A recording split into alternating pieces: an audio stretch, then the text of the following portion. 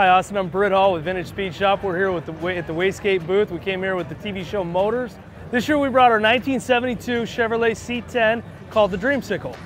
As we continue to build trucks, and right now we currently have about 14 in production, uh, we know there's certain companies that we can go to for where the fit and fitment is, is not an issue.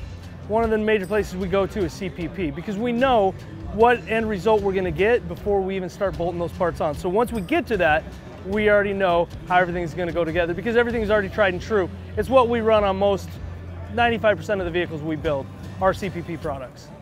On this particular build, we want to start with the steering column because we love the CPP, but at the time it was on back order. So outside of the steering column, all the suspension components, including the brake booster, uh, calipers, brakes, spindles, springs, shocks, all CPP. Again, we know what we're gonna get in the end result, and it's just our, one of our go-tos. My first vehicle is a 1972 Chevrolet C10. This is really the first 1972. That's all we built is 1967 through 72.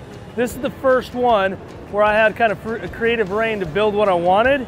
And so it, has got a little special heart, place in my heart because of it being a 1972. So we went a little bit crazy. It was originally a, a, an orange color on the SPID. And so we mixed it up a little bit with a Lamborghini orange paint and a pearl white.